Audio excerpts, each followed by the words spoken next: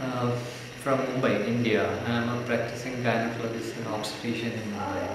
Uh, well, I've been doing uh, minimum laparoscopic surgery in Mumbai, and I was very fortunate to come here and uh, uh, to attend this uh, endoscopy at the ALEXEA workshop. And I thought it was worth the deal. It was a fantastic, very organized, and the technical expertise and assistant was unbelievable.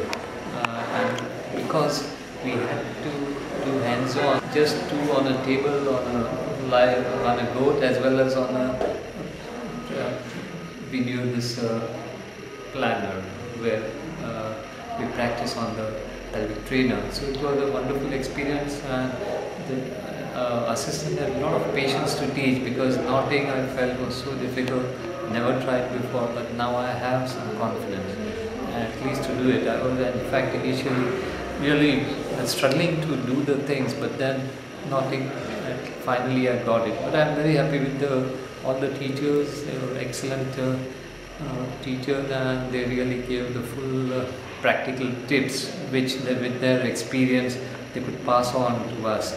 So it was a wonderful uh, experience. I hope would recommend my colleagues also who are interested in endoscopy from Mumbai and India. I would recommend that this is a wonderful center to uh, go for learning advanced as well as basic laparoscopy. I was very happy with all the teachers. They are really unbelievable, really good. So it was a pleasure attending this uh, workshop.